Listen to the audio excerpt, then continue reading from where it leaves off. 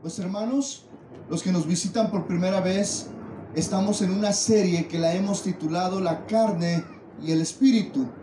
Y estamos viendo el fruto del espíritu y el día de hoy vamos a ver el fruto de la fe, pero mejor traducido como fidelidad. Y conmigo fidelidad. La séptima cualidad que el apóstol Pablo enumera como fruto del espíritu es la fe. Pero aquí fe, hermano, no es para, referirse a una convicción o una creencia respecto a Dios y Cristo. La palabra fe en su primer significado tiene que ver con la convicción, tiene que ver con la creencia a nuestro Dios supremo. ¿Cuántos tienen fe en Cristo? ¿Cuántos han confiado? Muy bien. Ese es el primer significado de la fe. Pero en el fruto del Espíritu, la palabra fe tiene que ver con fidelidad. Di conmigo fidelidad.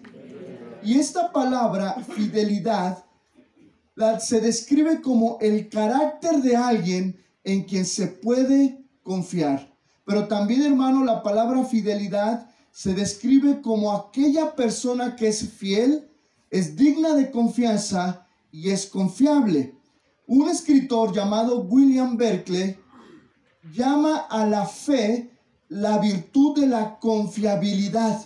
Ahora, hermano, fidelidad, en otras palabras, voy a resumir lo que es fidelidad. Fidelidad es la permanencia de un hijo de Dios o de un cristiano en los caminos de Dios. Hermano, fíjense, hay una doctrina es, respetable quienes proclaman esta doctrina porque son hermanos en Cristo, pero en el medio del cristianismo, de la iglesia cristiana, hay diferentes coberturas, diferentes líneas teológicas. No se preocupe si usted no las identifica, no es importante la teología. Lo que es importante, hermano, es la palabra de Dios a nuestra vida. Pero hay una doctrina en la cual se cree sobre salvo siempre salvo. Pero hermano, en la Biblia encontramos algo bien importante sobre perseverar, sobre ser fieles hasta el final. Yo conforme a la palabra de Dios, yo puedo ver que un cristiano puede mirar atrás, sí. Un cristiano puede fallar, pecar y su corazón endurecer y mirar atrás y abandonar la fe cristiana? Sí se puede, hermano. Yo prefiero predicar que sí se puede abandonar la fe cristiana a predicarlos, no te preocupes, salvo una vez, siempre salvo. Esa doctrina, no se preocupe, no voy a explicar esa doctrina. Lo que yo quiero decir es que la fidelidad es la permanencia del cristiano en los caminos de Dios. Cuando nosotros somos llenos del Espíritu Santo, somos sellados con el Espíritu Santo, comenzamos a crecer en fidelidad. Somos fieles hasta el final. Ahora, hermano, esa fidelidad es a través también del Señor, a través de su Espíritu Santo, a través de su palabra. Una persona fiel o una persona leal es aquella que se mantiene constante en sus afectos. Un esposo eh, tiene que ser fiel, una esposa tiene que ser fiel, un trabajador tiene que ser leal, fiel con aquellos que le dan que el trabajo. Y muchas veces, hermano, yo mismo he incumplido mis obligaciones. Yo mismo he sido infiel. ¿Eso qué quiere decir, hermano? Que todos los que estamos aquí, en algún momento de nuestra vida podemos ser infieles. Di conmigo, podemos ser infieles. Ahora, hermano, una persona que se mantiene fiel es aquella que está constantemente ligada a sus afectos, a los que ama, a los que quiere, a su esposo, a sus hijos, a su iglesia, sobre todo al Señor, ¿verdad? Entonces, hermano, la fidelidad está ligada con la gratitud. La persona leal es aquella que ha recibido un bien de otro y no lo ha olvidado. No debemos de olvidar el bien que nos hacemos ¿qué? los unos a los otros. Ahora, hermano, la infidelidad es, es también sinónimo de, de traicionar. Es sinónimo de ingratitud, porque olvidamos el bien que ha hecho con nosotros. Ahora, e, en esta virtud, desgraciadamente, hermano, esta virtud no es muy común. A lo largo del tiempo, no es algo común en la vida del cristiano. Hoy iglesias ya no son fieles a Dios. Hoy los congregantes ya no son fieles al Señor. Hoy los esposos son más infieles, las esposas, los hijos, somos más ingratos. Vivimos en una sociedad sumamente difícil. En Proverbios capítulo 20, Proverbios capítulo 20, versículo 6, Proverbios capítulo 20, versículo 6 dice, son muchos los que proclaman su lealtad, pero ¿quién puede hallar a alguien digno de confianza? E, es difícil. Mire, hermano, yo te voy a poner un ejemplo. Todos los que estamos aquí demandamos que lealtad. Pero ¿cuántos de nosotros, hermanos, somos dignos de confianza? Empezando yo. Yo, yo les he faltado la confianza a muchos. Y sin duda que hay que pedir que perdón. Hay que reparar los daños. Pero ¿cuántos de nosotros, hermano, somos dignos de confianza? No diga amén. Mejor reflexionemos y digamos, Señor, ¿soy una persona digna de confianza? El salmista en el libro de los Salmos denunció la falta de fidelidad en su época, escribiendo lo siguiente. Fíjense lo que dijo el salmista en el Salmo 12, versículo 1 y 2. Dice, sálvame Señor, ya no hay personas fieles. Los fieles han desaparecido del mundo. No está hablando hoy, ¿va? Lo bueno que era en la época del salmista. Dice, solo se dicen mentiras unos a otros Ocultan sus verdaderas intenciones cuando hablan bien de su vecino. Sin duda, hermano, que todos hemos fallado. Todos hemos fallado. Y también nos han fallado, ¿está de acuerdo? Todos hemos fallado y también nos han fallado. Cuando fallamos, muchas veces, pues no lo proclamamos, que fallamos. Pero pongan mucha atención. Cuando, nosotros, cuando nos falla alguien, lo proclamamos, porque está dentro de nuestra naturaleza proclamar nuestros derechos. Pero todos de una u otra manera hemos fallado. ¿Cuántos reconocen que le hemos fallado al Señor? Todos los días podemos fallarle al Señor. Todos los días le fallamos a nuestras esposas como varones, ¿a poco no? Nadie dice. Cuando miramos a la mujer prohibida. Hoy estamos en la época en donde la infidelidad es, a lo mejor tú dices, bueno, es que yo no he sido infiel, pero a lo mejor con la mirada, con la vista, con tus pensamientos, con tus deseos. ¿Cuántos de nosotros como padres somos infieles a nuestros hijos?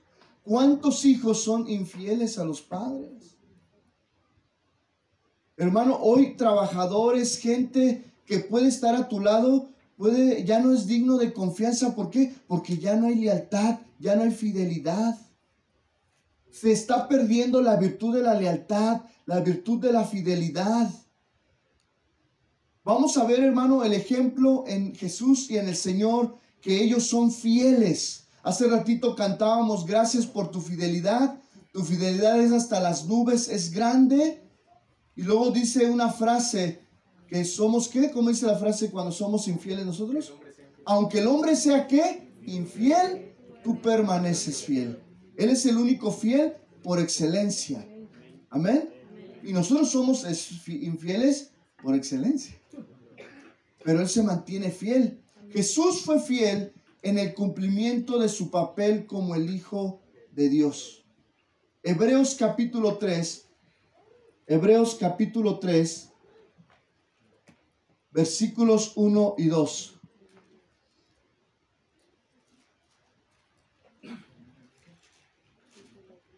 Hebreos capítulo 3, versículos 1 y 2. ¿Ya lo tiene?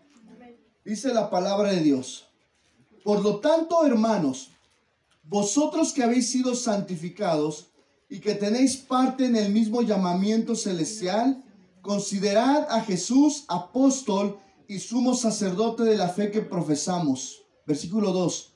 Él fue fiel al que lo nombró, como fue también Moisés en toda la casa de Dios. ¿Cuántos dicen que Dios es fiel? Amén.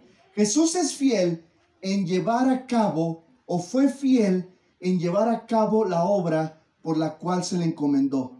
No vaya, es un versículo paralelo y quiero leer Biblia al día, esta versión Biblia al día del Evangelio de Juan capítulo 5, verso 30 y vamos a ver lo que dice en, en la fidelidad de Jesús en el cumplimiento de la promesa. Juan 5:30, versión Biblia al día. Yo no puedo hacer nada por mi propia cuenta. Juzgo solo según lo que oigo, y mi juicio es justo, pues no busco hacer mi propia voluntad, sino cumplir, di conmigo, sino cumplir la voluntad del que me envió.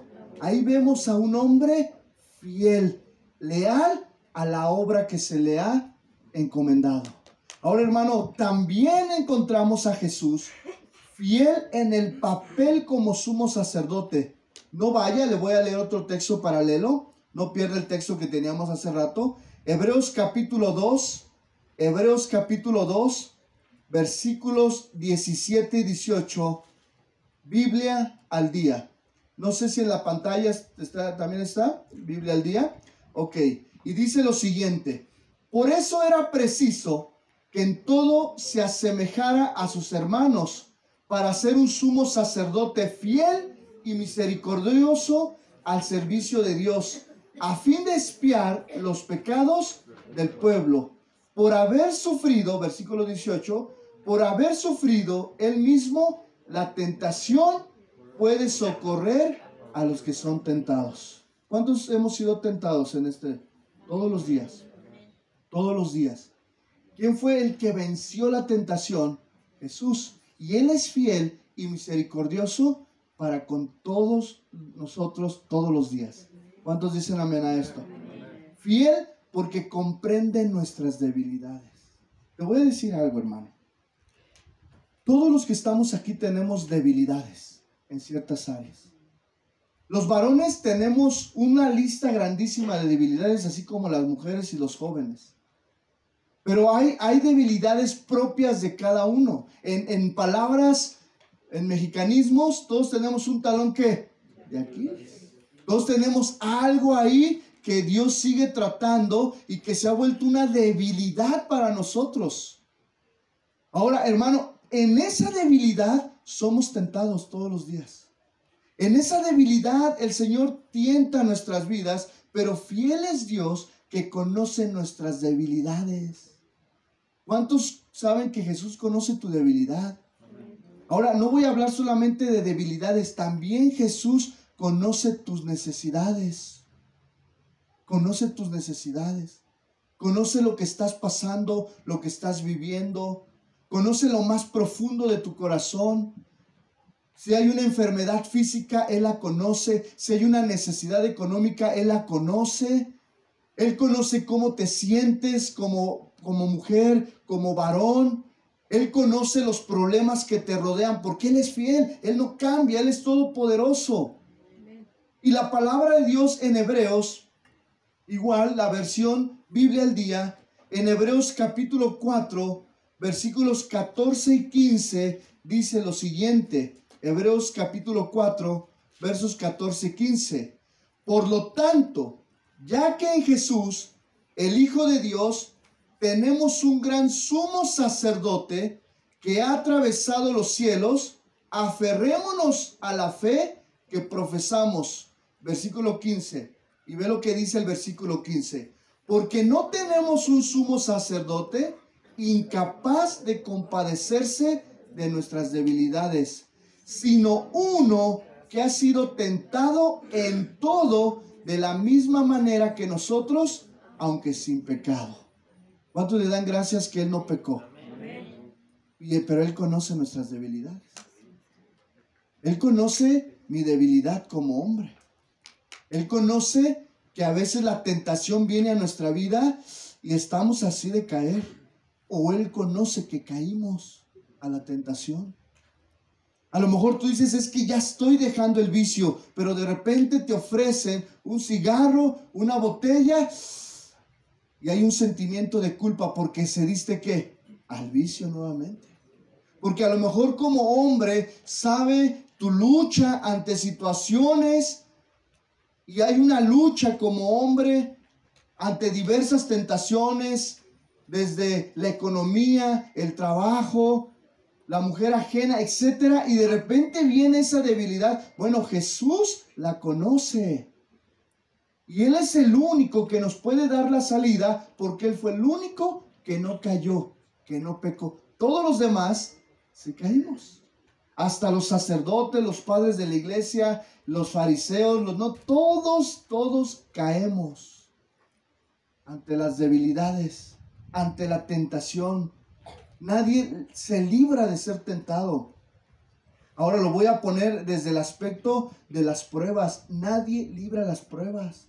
Las pruebas sin duda que tienen un propósito, pero todos pasamos por diferentes pruebas de salud, económicas, situaciones en casa.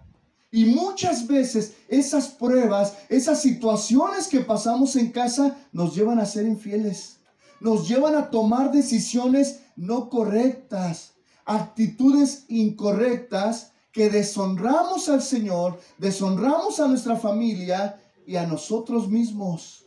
Pero te digo algo, Dios permanece fiel. Pero Dios quiere que esa virtud de la fidelidad la tengas tú. La tengamos nosotros para terminar en los caminos del Señor. ¿Cuántos quieren ser fieles hasta el final? No importa si no hay dinero. No importa si no acabamos el auditorio, Bueno, ni hemos empezado. Seguimos pagando. Mira, Dios, Dios, nos ha dado un lugar. Yo siempre digo que es bonito. Hoy está seco porque ya inició diciembre. Pero nos ha dado un lugar amplio. ¿Y cuántos de nosotros vamos a ser fieles? Y Señor, me has traído aquí. Quiero ser fiel. Mientras yo esté aquí, quiero ser fiel. ¿Cuántos padres decimos, Señor, yo quiero ser fiel con mis hijos? Me diste tres. Sí, son latosísimos.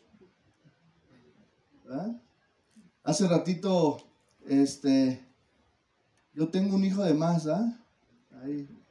Y, este, y hace ayer eh, llegó un hermano de Querétaro, de los que va, está compartiendo él ahorita ahí, y este, en el, en el campamento de jóvenes, y de repente pues estaban mis tres hijos y el, y ahora sí que el adoptado, y, el extra. Siempre hay, hay gente en, casa.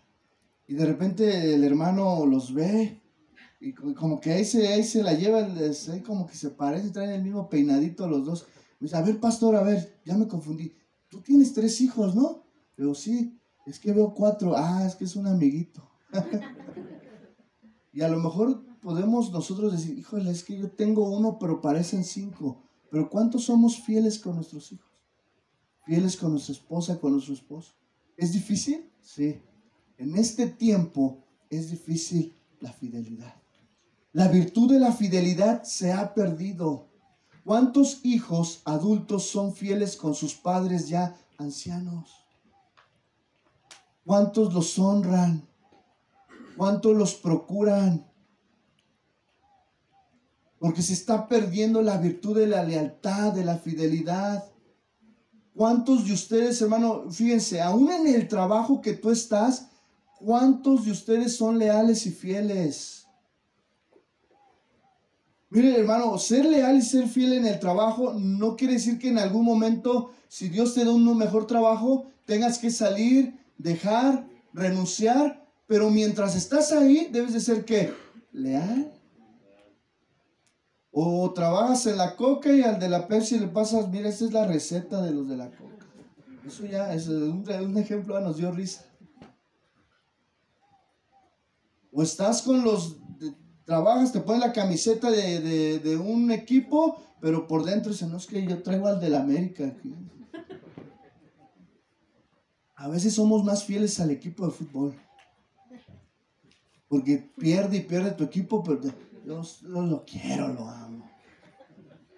Que a nuestros hijos, que a nuestras esposas. A veces somos más fieles a cosas, lo voy a decir, absurdas, que no tienen importancia, que a lo que sí deberíamos de ser fieles. La, fidelidad en el trabajo, la lealtad es, es parte. Ahora, ¿cuántos de nosotros somos fieles al Señor? ¿Cuántos podemos decir, Señor, yo quiero esta virtud de la fidelidad? Porque fíjense, porque no tenemos un sumo sacerdote incapaz de compadecerse de nuestras debilidades. Imagínate, hermano, que tuviéramos a Cristo que no supiera lo que pasáramos y nos estuviera juzgando desde el cielo. Ay, mi hijo ya se equivocó, ya la regó, ya cayó. No, lo mandamos al infierno. No, Él desde arriba mira nuestro corazón, sabe nuestras debilidades, sabe cuántas veces caemos, cuántos errores cometemos, pero Él permanece fiel y nos sigue amando. Y nosotros somos bien injustos, somos desleales con los que están a nuestro alrededor. Ahí mismo, Hebreos 4:16, Biblia al día. Creo que está en la pantalla. Hebreos 4:16. Todos juntos la versión que está en la pantalla. Una, dos, tres. Así que acerquémonos confiadamente al trono de la gracia para recibir misericordia y hallar la gracia que nos ayude en el momento que la ¿Cuántos dan un aplauso al Señor por su gracia?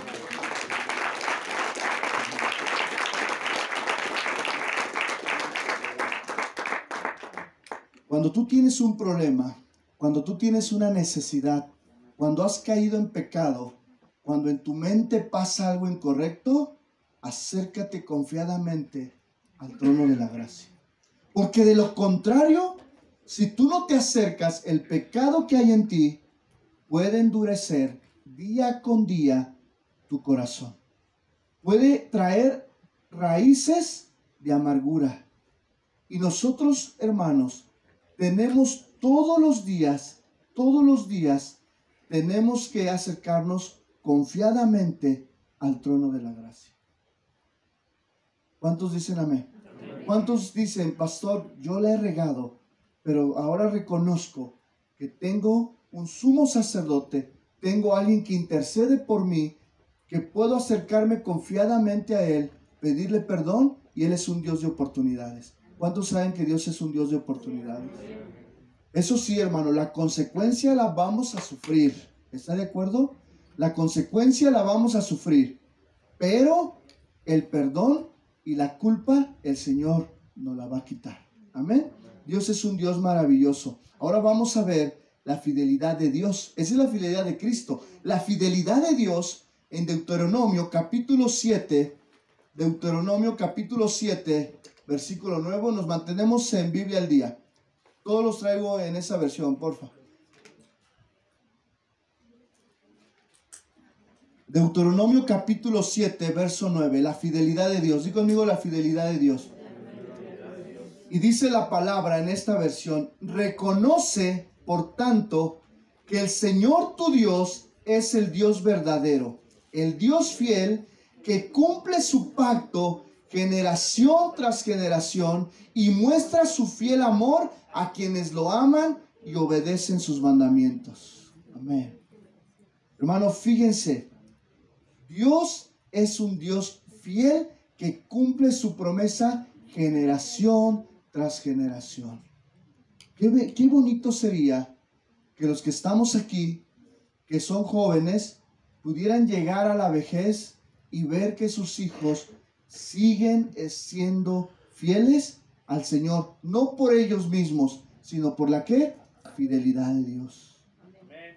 Dios es fiel, hermano. Primera de Corintios, capítulo 10,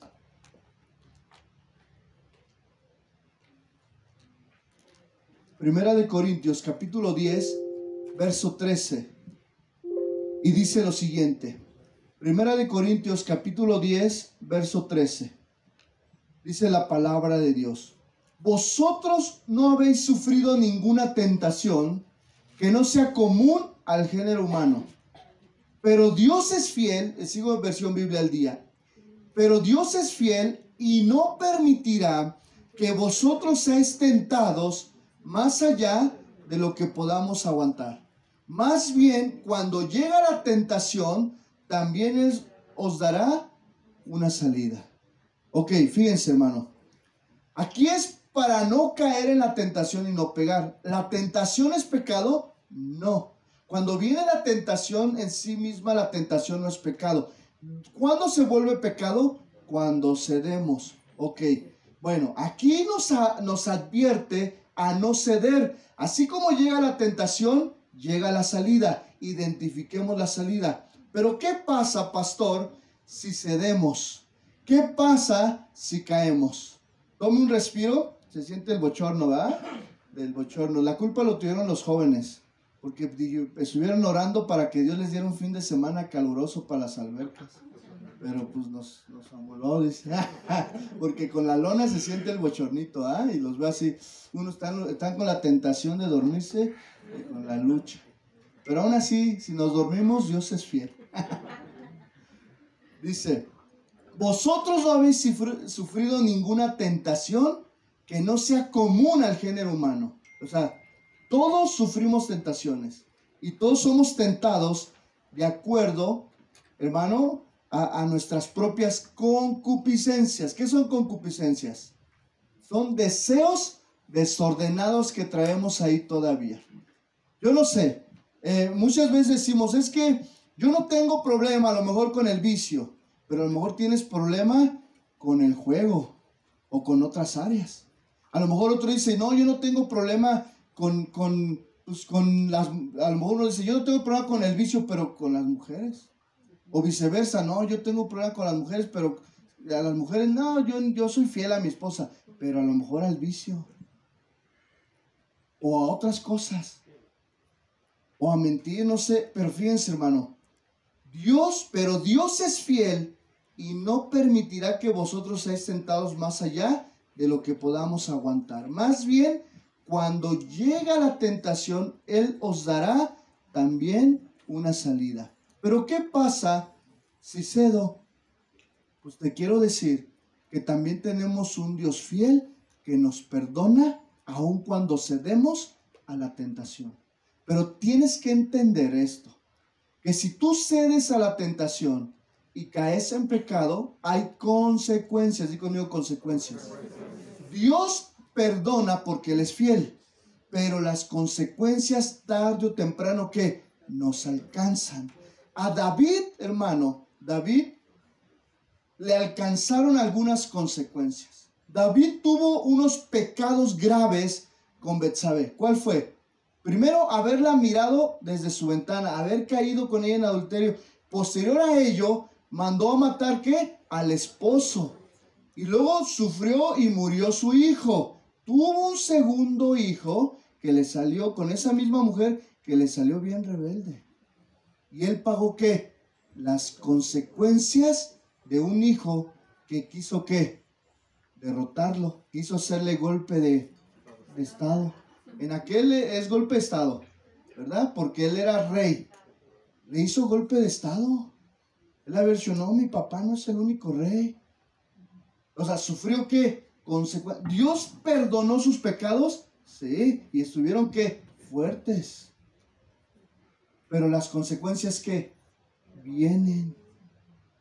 Eh, eh, ¿A qué voy? Cuando tú caes en pecado, Dios te perdona y agradecemos a Él. Pero Él te dará la fuerza para afrontar qué? Las consecuencias. Para ver cómo salir. Ya, lo, ya, los, ya la tenemos. Ahora hay que salir adelante con la ayuda de Dios. Y Dios es bueno, hermano. Dios es bueno. La verdad es que yo, yo en mi vida, pues he fallado mucho. Y Dios es bueno. ¿Cuántos hemos fallado? Y Dios es bueno, nos mantiene. Claro, hay que sufrir que las consecuencias. Hermano, hay algo bien importante. Entonces aquí, tenemos que entender lo siguiente.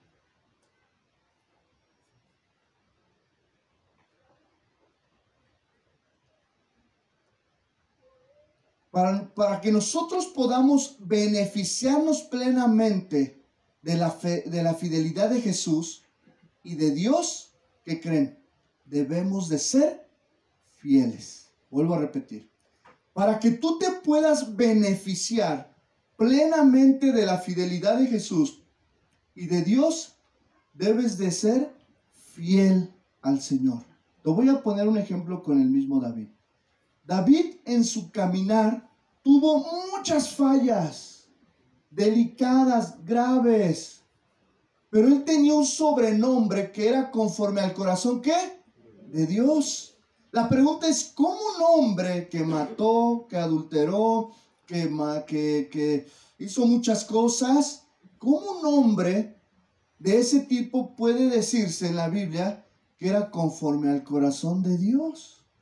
Te voy a decir por qué. Porque a pesar de sus caídas y de sus fallas de David, David era un hombre que reconocía su pecado y que se mantuvo fiel al Señor a pesar de sus errores y de sus fallas. Por eso la virtud de la fidelidad es bien importante para que nosotros podamos también, hermano, ser parte de esta fidelidad de Dios hacia nosotros.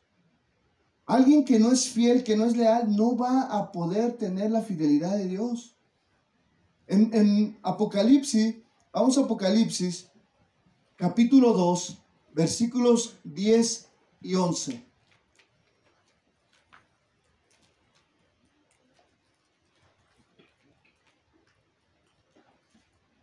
Quiero que consideremos este versículo muy importante. ¿Ya lo tiene ahí? Dice la palabra, no temas en nada, no temas en nada lo que vas a padecer. ¿Qué iban a padecer? Bueno, ve, ve lo que iban a padecer la iglesia de aquel entonces. He aquí el diablo echará a algunos de vosotros en la cárcel. Imagínate que eso fuera para nosotros ahorita. Para que seáis probados y tendréis tribulación que por 10 días.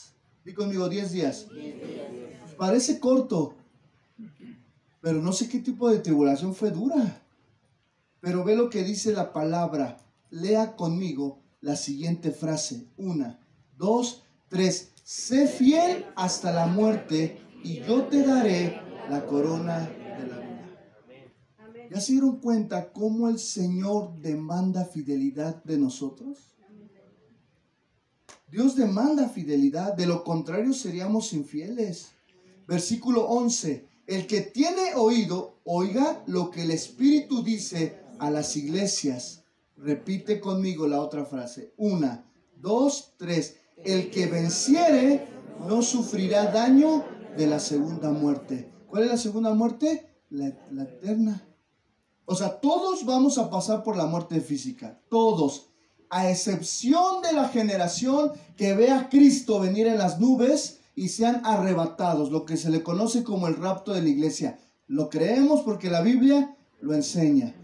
Pero si Cristo no viene, tarde o temprano vamos a sufrir que la muerte física, esa es la primera muerte. Pero la muerte segunda, hermano, tiene que ver a la muerte eterna. Los que seamos fieles hasta el final, no sufriremos una segunda muerte espiritual, sino venceremos, estaremos con el Señor.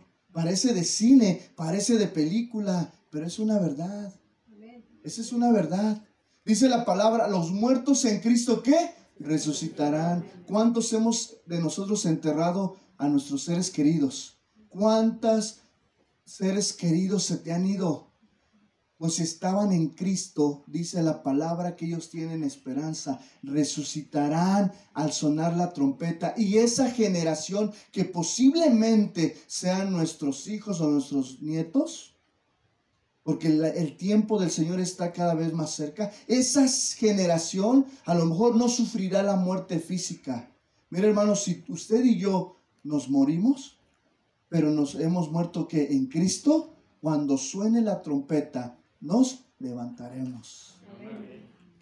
Y si mi hijo hayan, o nuestros hijos les tocó ver ese hecho escatológico, profético, pues qué bendición. Bueno, si nos toca, pues qué bendición. Pero sabe, hermano, usted debe de ser fiel. Y más en estos tiempos que Cristo está pronto a venir. Seamos fieles, terminemos nuestra carrera. Fíjense, hermano, el dolor, las pruebas son parte de la vida, pero nunca, hermano, nunca, fíjense, no es fácil pasar por una prueba. Sin duda que no es agradable sufrir. No es agradable perder a un ser querido. No es agradable que pases por enfermedad. No es agradable. hay hermanos aquí que han perdido una pierna, que han perdido eh, un ser querido, que han perdido bienes, etc. Nada de eso es agradable. Y hermanos, sufrir sin causa no es agradable, pero nosotros sufrimos por una causa, la de Cristo. Jesucristo elogió a la iglesia de Esmirna porque su fe fue probada en, medio de las pruebas. Imagínense, hermano, que nosotros aquí dijera el Señor, quiero probar a la iglesia de Zumpango en medio de las pruebas. Quiero ver hasta dónde está su fidelidad de la iglesia de casa de oración. Mire, los nuevos van a decir, pues ya mejor ni vengo. Pero ¿cuántos de nosotros en medio de las pruebas, en medio de la, de la aflicción podemos decir, Señor, quiero ser fiel hasta el final? Hace rato cantábamos, quiero permanecer fiel. Sé que tú eres fiel, aunque el hombre sea infiel, tú permaneces que fiel. Y luego, hermano, nos anima ese versículo de Apocalipsis que leímos, nos anima a tener en mente lo que muchos piensan que es que es una historia. O piensan, ay, los cristianos están locos, ¿cómo que van a resucitar los muertos y, y va a venir Jesús en una nube? ¿Quién les cree? Hasta nosotros mismos podríamos pensar ahorita, ¿será? ¿Sí será verdad eso? Una vez, fíjense, una vez mis hijos escucharon esto de mí y de repente cuando íbamos en el camino uno de mis hijos, papá, papá, o sea, tú dijiste que los muertos van a resucitar. Y, así como que ellos estaban espantados. Y yo dije, a ver, espérame. Sí, pero los muertos en Cristo. Y no resucitar como las películas de... Ah, no, no, no, no. Sino con un cuerpo que glorificado. Y le dije, y va a haber una generación, les dije, posiblemente sean ustedes o sus hijos, que no verá la muerte física, sino Cristo los arrebatará, los subirá a una nube ¿Y a dónde? Dicen, ¿a dónde vamos a ir? Pues a las fiestas del Cordero, a las bodas del Cordero. Mientras celebramos las bodas del Cordero, ¿qué va a pasar aquí? Destrucción, tribulación, aflicción, juicio. Te encontrarás con tu hijo que has perdido, te encontrarás con tu padre que has perdido. Nos volveremos a ver en un lugar donde ya no hay dolor, donde ya no hay tristeza, donde no hay pobreza, donde no hay división social, donde no hay ricos ni pobres, no hay eh, ahí no hay esclavos ni siervos, sino todos somos uno en Cristo Jesús. Amén. Dale un aplauso, Señor. Amén.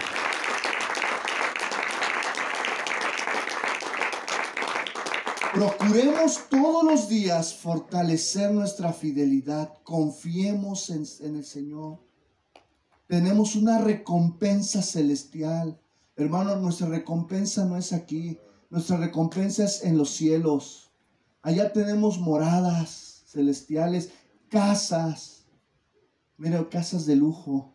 Porque si los caminos y las carreteras son de oro, no me imagino las casas. Amén. Aquí lo más que le puedes meter a tu casa es una cantera muy bonita. Es más, el más rico le mete oro. Pero allá, hermano, nos va a salir gratuita. No va a haber Infonavit. No va a haber renta. Pero amén. Para los que pagamos renta. No va a haber hipoteca, pero ¿saben qué? Sé fiel hasta la muerte. Versículo Romanos 2, estamos ahí. Brinquémonos hasta el versículo 25 y 26. 25 y 26. Apocalipsis capítulo 2, 25 y 26. Perdón, dije Romanos. Sí. perdón. Ahí mismo, Apocalipsis capítulo 2 en el versículo 25 y 26. Estamos en el 10 y 11. Vamos a brincarlos porque es muy extenso. Dice lo siguiente, pero lo que tenéis, retened, retenedlo hasta que yo venga. Al que venciere y guardare mis obras hasta el fin, yo le daré autoridad sobre las naciones. O sea, no solamente, hermano, nos llevará a lugares celestiales, a un mejor lugar, sino si somos fieles, nos dará también como gobierno. Mira, si aquí tú dices, es que aquí yo no era nadie, allá vas a ser un gobernador. Eh, no me quiero meter en cuestiones escatológicas a su debido tiempo, pero lo que yo quiero el día de hoy es que usted se lleve fieles hasta el final, fieles hasta la muerte. Luego vamos al capítulo 3, ahí mismo, dele vuelta a su hoja, capítulo 3, verso 11 y 12.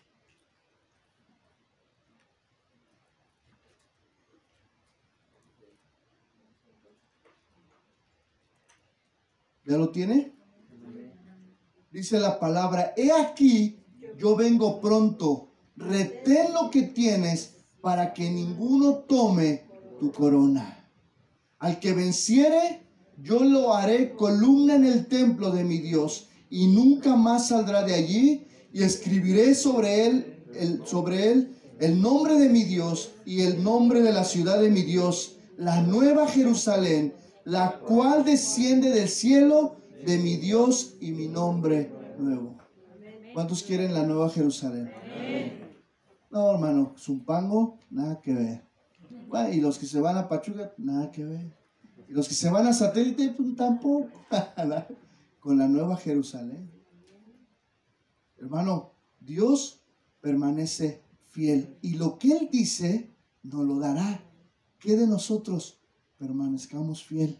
Ahora, de manera muy general, de manera muy general, quiero decirte lo siguiente. La pregunta es, ¿qué áreas es donde necesitamos mayor fidelidad? Número uno, debemos ser más fieles primeramente a Dios y a Cristo. Hermano, debemos ser fieles en nuestra adoración, en nuestra oración, en nuestra exaltación a Dios, en cómo utilizamos nuestros talentos, nuestras habilidades y oportunidades para glorificar a Dios. Con demasiada frecuencia, hermano, la gente actúa como Él, es decir, de una manera egoísta. Sus talentos, sus bienes, lo que él tiene, los ocupa para sí mismo y no para agradar al Señor. Hermano, debemos aprender que nosotros debemos ser fieles a lo que Dios nos ha dado. Fieles en todos los aspectos. Fieles, hermano, a la congregación, a la familia de Dios que Dios nos ha dado fieles hermano en, en congregarnos. No pierda la oportunidad de congregarse. Dice la palabra, preocupémonos los unos por los otros, a fin de animarnos, estimularnos al amor y a las buenas obras. No dejemos de congregarnos como algunos acostumbran, sino animémonos unos a otros y con mayor razón, ahora que vemos que aquel día se acerca. ¿Cuál día? El día del Señor. Entonces debemos ser fieles a Dios. No descuide participar en la iglesia. No descuide la oportunidad de aprender y crecer juntos. Lleve a cabo la obra que Dios le ha dado. Dios le ha dado talentos, le ha dado una profesión, le ha dado recursos que usted también debe de poner en disposición al Señor. Hermano, debemos nosotros entonces ser fieles al Señor primeramente, fieles a su iglesia. Gracias, hermana. Y quiero decirte lo siguiente. Voy a leer la historia de una mujer de la tercera edad que se le conoce como la abuelita Tamboy. Esta abuelita se le conoce como la abuela Tamboy o Temboy y es una abuelita residente en Tailandia. Y esta señora, esta hermana en Cristo, es de baja estatura, encorvada por la edad, con las manos y los dedos nudosos por la artritis que ya tiene. A menudo se queda quieta y en silencio a un lado. Y su nombre traducido al español significa siempre. A pesar de su apariencia física poco impresionante, la abuela, la hermana Temboy, siempre ha sido inspirada o una inspiración para sus amigos misioneros y cristianos tailandeses por la fidelidad que por los años ha mostrado. Ella es viuda y tiene más de 90 años. Vive como sirvienta en un hogar tailandés. Todos los domingos dice que camina tres kilómetros hasta llegar a la iglesia. De sus ingresos de 5 centavos diarios, dona regularmente el salario de un día al Señor cada semana. Cuando sus amigos misioneros la llevan a su casa después de los servicios religiosos, de los servicios de sus iglesias. Ella sale del vehículo, inclina la cabeza en una oración audible por los misioneros y por la obra de Cristo en Tailandia. Un misionero dice lo siguiente, pensar en la fidelidad es pensar en esta abuelita, que siempre nos hace humildes y nos hace más, más profundizar en la fidelidad de Dios. ¿Cuántos de nosotros vamos a ser fieles? Otra de las áreas bien importantes que debemos de ser fieles es a nuestra familia en la carne. Voltea a ver a tu esposo, a tu esposa que tienes a un lado. Dile, perdóname porque muchas veces he sido infiel. Y no hablo de, de engañarla, sino de, de actitudes. ¿Sabe? Como padres debemos ser fieles en el cumplimiento de nuestras funciones. Como esposos debemos ser fieles en el cumplimiento de nuestras funciones con nuestras esposas. Esposas sean fieles en el cumplimiento de sus, de sus funciones hacia sus esposos. Las madres las que tienen la dicha, ¿cuántas madres hay aquí? Jóvenes y pequeñas. Escuchen, madres, tienen la dicha de que Dios les ha dado un hijo. Sean fieles en el cumplimiento de su responsabilidad con sus hijos. Padres, sean fieles en el cumplimiento del sostenimiento económico, espiritual de sus hogares. Por supuesto, hermano, que la fidelidad también conlleva una responsabilidad de ambos cónyuges y de todos los miembros de la familia. Pero eh, aquí quiero también hablarle a los hijos. Hijos, sean fieles con sus padres. Honren a sus padres. Cuiden a sus padres si ya están en edad adulta. Obedezcan a sus padres. Si tienes a tu padre cerca, Voltealo a ver y dile, Padre, perdóname, quiero obedecerte, quiero serte leal, fiel. Y por último, dile, dile, ahí sí lo tienes. Y por último, hermano, necesitamos ser fieles al sostenimiento de la obra de Dios, donde Dios se ha dado, ¿verdad? O te ha puesto. Y es a través de tus ofrendas, de tus primicias, de tus etcétera. No quiero andar en eso porque no es el tema. El tema es la fidelidad. Pero cuando hablamos de fidelidad, hablamos de ser fieles a Dios, primeramente. Fieles a nuestra esposa, a nuestro esposo. Fieles a nuestros hijos. Fieles a la congregación.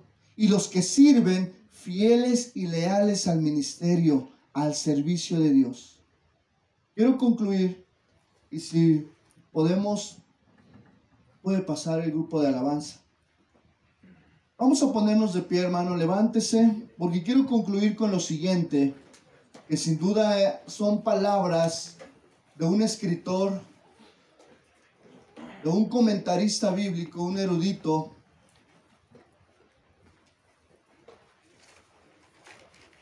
Son unas palabras tan sencillas. Cuando un erudito, un escritor bíblico, escribe sobre la Biblia palabras sencillas para que la congregación o el pueblo lo reconozca, me gusta transcribir tal y como lo hace. Porque hay muchos teólogos que les gusta ahí escribir comentarios, pero a veces confunden más. a veces nos confundirían un poquito más.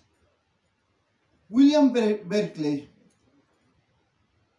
terminó su examen de esta palabra de esta manera.